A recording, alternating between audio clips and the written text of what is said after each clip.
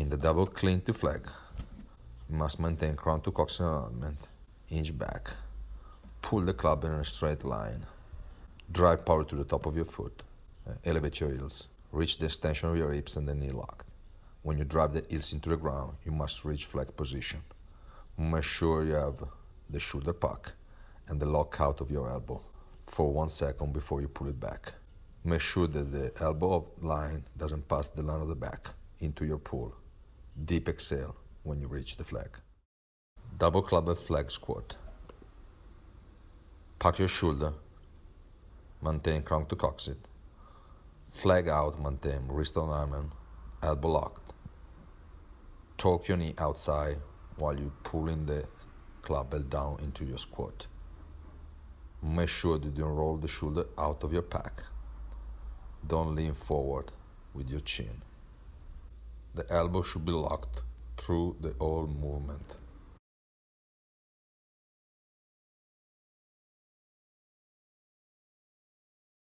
In the iron cross, you start from the back pack position, pull the club in a straight line, creating an arch with your elbow locked.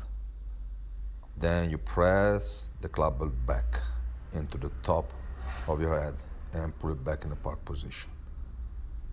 Make sure that through all the movement, your elbow are locked, your wrist is in alignment, your crown to coccyx, and your knee is locked. Make sure that your scaps are tied together while you are on the full lock of your iron cross.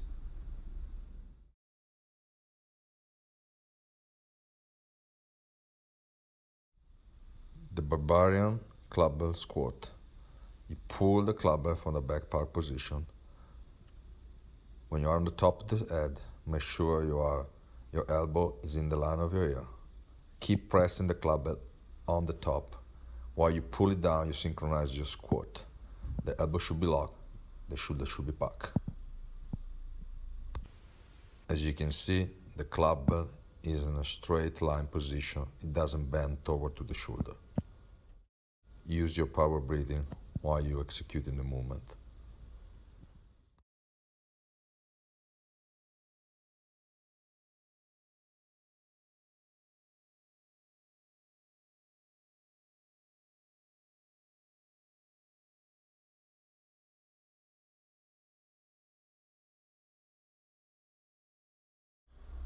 In your double clubbell side cast press, drive your hips to the side. Once you execute the drive of your hips, one knee is locked, the other knee might be bending as a side effect. Then you cast your clubbell and you strongly press out. Your shoulder should be packed down. You press through your lats and to your pec. Then you you're gonna be locked out for half a sec. Then you're gonna be pulling back in a straight order position. Use your power breathing while you're pressing the clubbell out. Clubbell double swipes. Key point. Roll back before you start to swing, understanding pack down, last activation.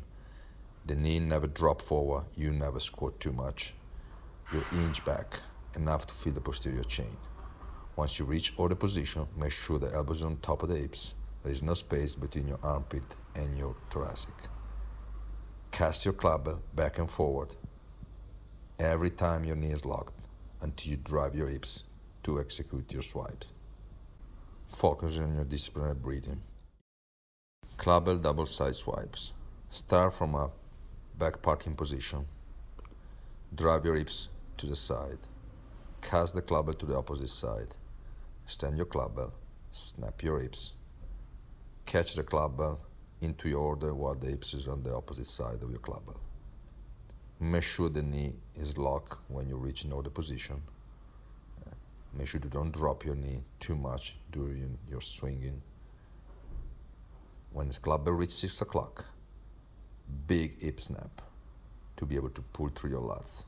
Keep your shoulder down every time you pull the clubbell to order position. Make sure to full lock your elbow, get the saber grip, and have the clubbell fly simultaneously in a straight semicircle. Adopt the disciplined breathing if is needed.